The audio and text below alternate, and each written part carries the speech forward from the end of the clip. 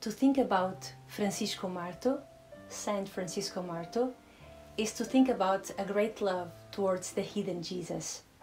He learned from the angel of peace, the angel of the Eucharist, this great love towards Jesus in the Blessed Sacrament, the hidden Jesus, like they used to call him. So he learned how to love, how to be by himself, alone, hidden from his sister and his cousin. And with this, with so many hours of adoration in front of the tabernacle of his parish church, Saint Francisco teaches us one of the most important lessons of the spiritual life. It teaches us how to make God the center of our life.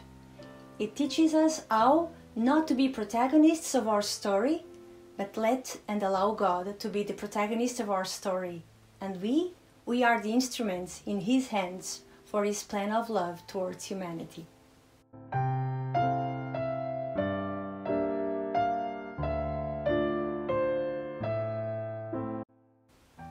To think about Jacinta Marto, little Jacinta, the youngest saint in the history of the church, is to think about compassion.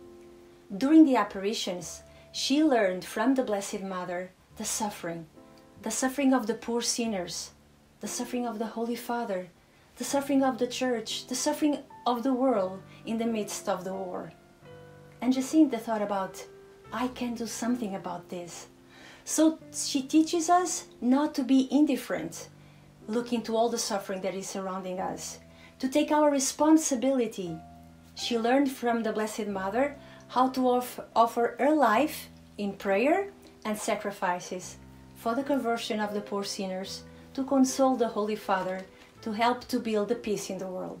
And this is what we can learn from Jacinta Marto not be indifferent to the suffering of the world and assume our responsibility through prayer and sacrifices in the history of salvation.